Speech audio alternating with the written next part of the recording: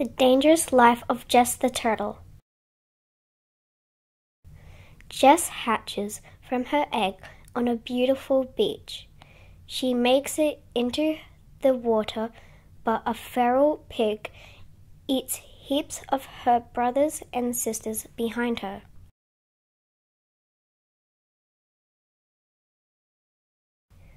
Jess is so sad, but she thinks, it's okay. One day I'll come back here again and lay my own eggs. Jess grows bigger all the time, but it's so difficult to find seagrass to eat. She has to find a new grass beds all the time.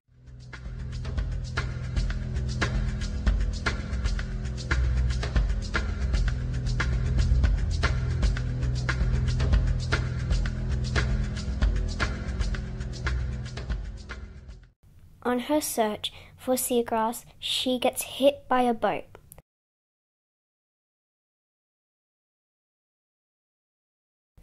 The people on the boat take Jess to Reef HQ Turtle Hospital. Jess has recovered and released back into the wild. She is very hungry and she and sees a lovely big jellyfish. My lucky day, thinks Jess. Lunch. Not long after Jess feels very sick and she can't dive down to the bottom of the seabed anymore. Jess ends up back in the Reef HQ Turtle Hospital where the plastic bag is removed from her belly. All fixed and happy again, Jess is swimming.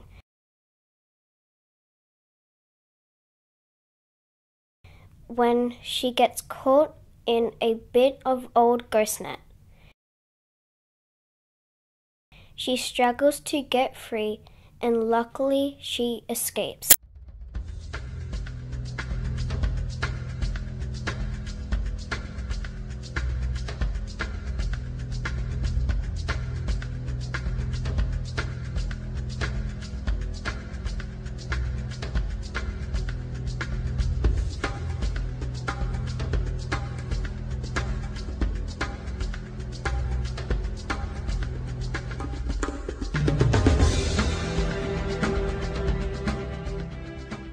Jess makes it all the way back to the beach where she was born, but she can't lay her eggs there anymore because the beach has been developed into a parking lot and the lights are very bright.